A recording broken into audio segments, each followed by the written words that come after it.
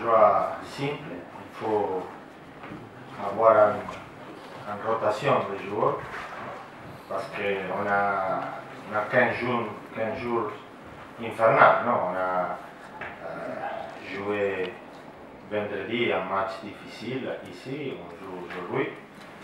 On joue dimanche à Sénégal avec un voyage et on joue mercredi contre les Ça, c'est tout à fait logique qu'il faut protéger certains joueurs, il faut faire tourner un petit peu l'effectif et, gérer euh, même euh, la situation de, l'effort physique, de euh, question psychologique aussi, et, de la blessure aussi, et aussi la prévention de la blessure. C'était ça l'idée des choix tactiques d'aujourd'hui.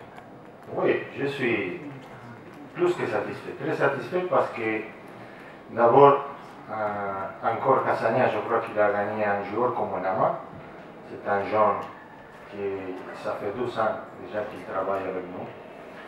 Euh, c'est un jeune de 20 ans qui a fait ses débuts dans un match difficile comme aujourd'hui.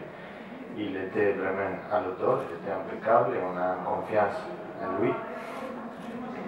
Et c'est la preuve du travail qu'on est en train de faire dans la catégorie des jeunes il faut rendre un petit peu hommage à ce groupe des entraîneurs qui travaillent dans la catégorie des jeunes, même dans l'école de foot de Cassagnac, qui sont en train de fournir un, grand travail.